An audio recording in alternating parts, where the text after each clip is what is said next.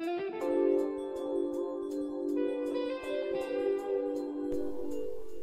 entrando a Desnuda la Piel podcast. Bienvenido.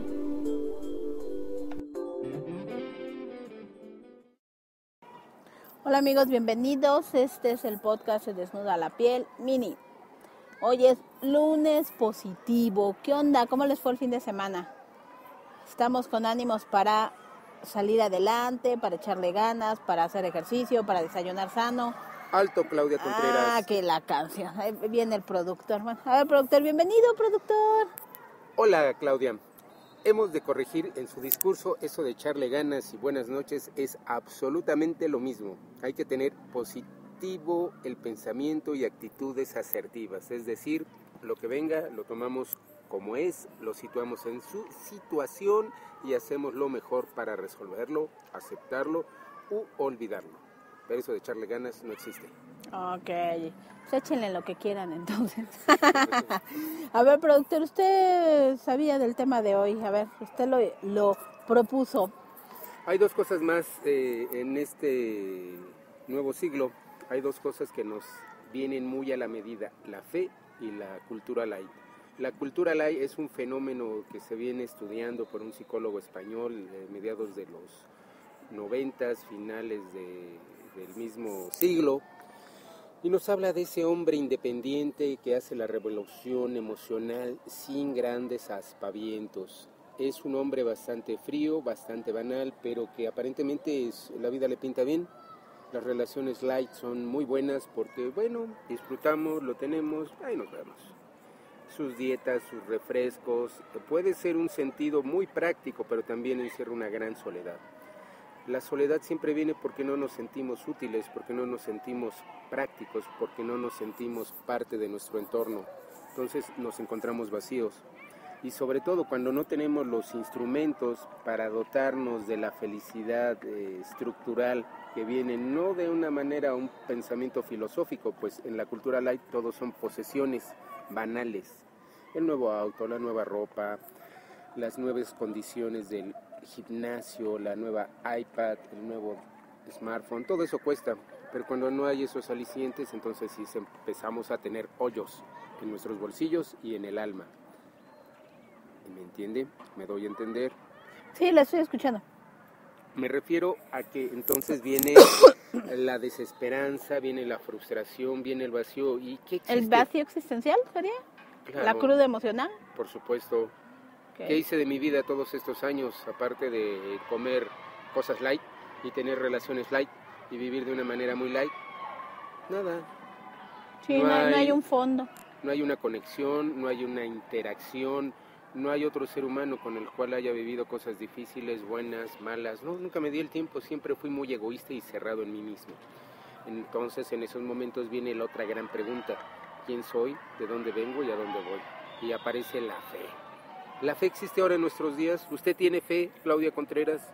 Dígamelo, y le puedo otorgar el... No, esa fe no existe, esa nada más es por televisión y le sacan uno el dinero.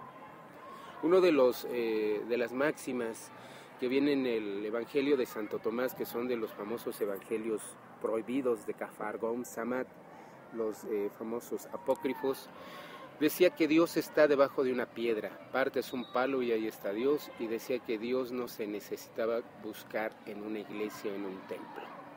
Cosa más escandalosa para los judíos y para los romanos que institu- institucionalizaron la fe, le pusieron precio. Entonces, ¿cómo iba a ser eso? Por eso lo sacaron, los famosos este, textos prohibidos, cerrados. Pero ahí están. Bueno, Pero- lo que pasa es que recordemos que pues, la humanidad tuvo una época de oscurantismo, ¿no? Donde el cual la religión dominaba todo y de alguna por manera, todo, claro, regía todo. Ahí está. Los que quemaban los libros eran los amorosos a Dios. Los que mataban gente eran los amorosos a Dios. Los que hicieron las, la Santa Inquisición eran los amorosos a Dios. entonces la invitación del podcast de hoy es a, a no ser light, A, a tener a los- profundizar. a profundizar en uno mismo y no tener una vida vacía, porque el vacío siempre va a llevar a la soledad, a la frustración, al sentirse perdido, a empezar con una vida caótica. Se lo digo yo que lo viví. No hay mejor trago para la soledad que el alcohol.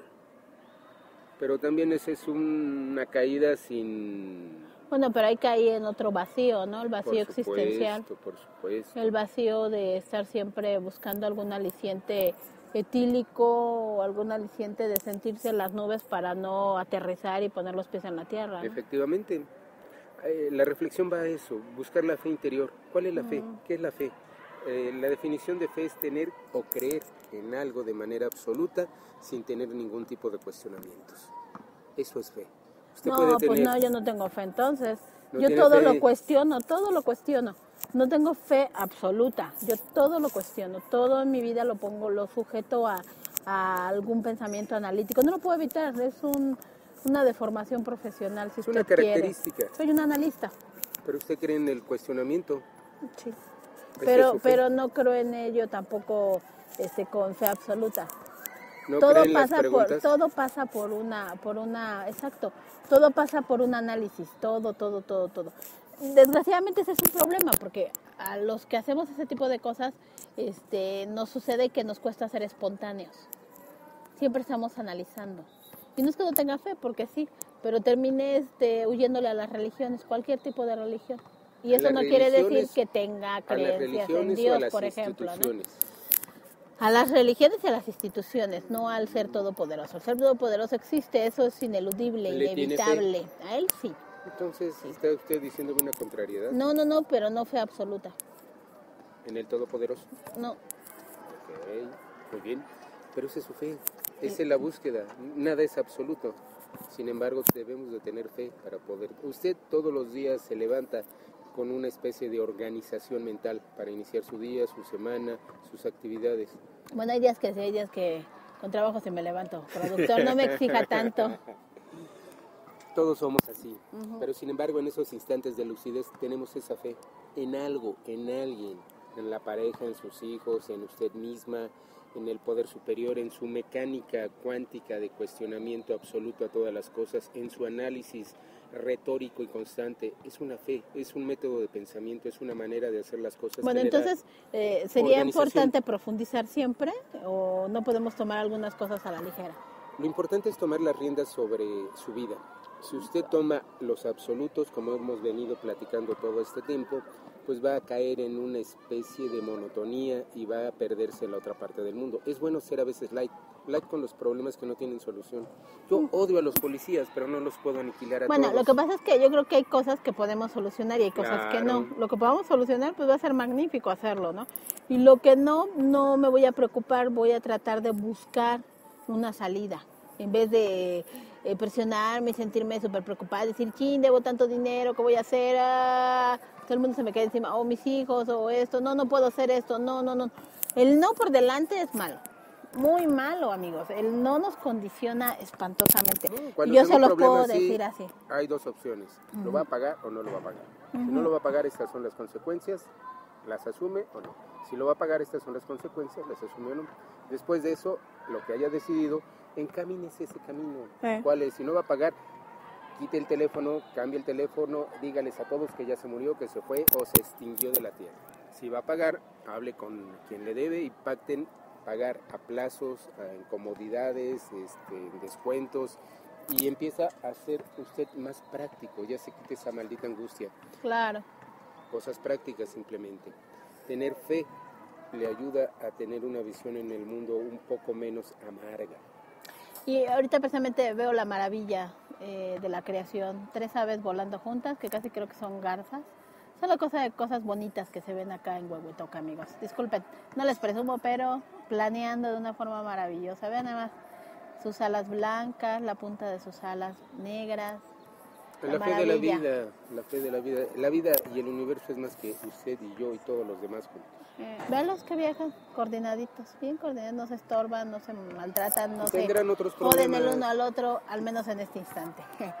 Amigos, este, como siempre, la invitación es a mejorar, la invitación es a, a informarse, a ser eh, personas propositivas, a, a evitar el no en nuestra boca, a no condicionar a los seres con los que vivimos. Eh, la invitación es a la aceptación, como siempre. Y en este lunes positivo, la invitación es a evitar ser light, no seas tan light en tu vida, trata de profundizar un poco. Puedes tomar determinaciones y decir, ¿sabes qué? No me interesa casarme con alguien, quiero tener sexo sin compromiso.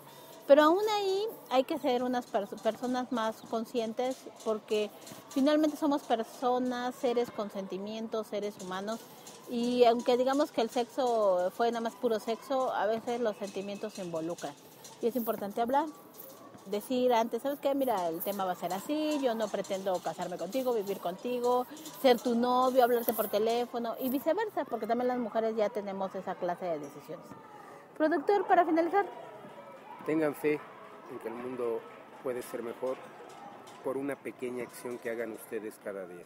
acerca acciones, acelerar el mundo. Una acción que nosotros hagamos hoy este, puede ser como el vuelo de una mariposa. ¿Se acuerda de aquella película?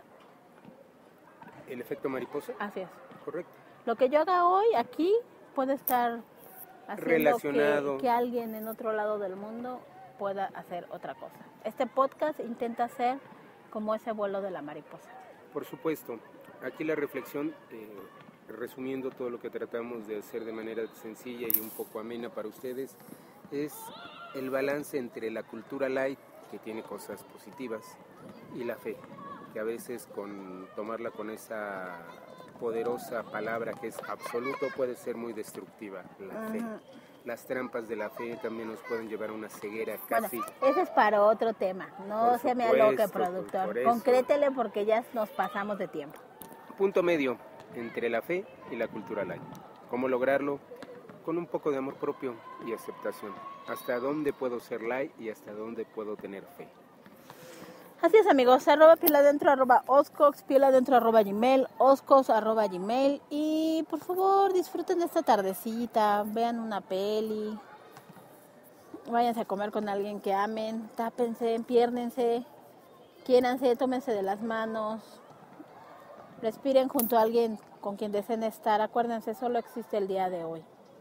Que estén muy bien, buena vibra para ustedes y Acuérdense que el día 7 de noviembre pretendemos reunirnos para celebrar los nueve años del blog, los cuatro años del podcast. Y bueno, estamos invitándoles, posiblemente se hagan una cantina del centro de la Ciudad de México. Solo les pedimos que aparten unas horas para estar con nosotros. Esto sería después de las 6 de la tarde, 7 de la noche más o menos. Este, estar un rato ahí conviviendo. Es un viernesito, dense tiempo. Hay amigos a los que ya invité, este, así en persona, vas a huevo o a huevo, nada, no es. Pero quien se siente con la libertad de ir, pues vaya, ¿no? Por lo menos mándenos un audio, un mensaje para grabarlo para el podcast de celebración. Esto va a ser el viernes 7 de noviembre, es de este de ayer en 15, ¿no? Ya estamos muy cerquita.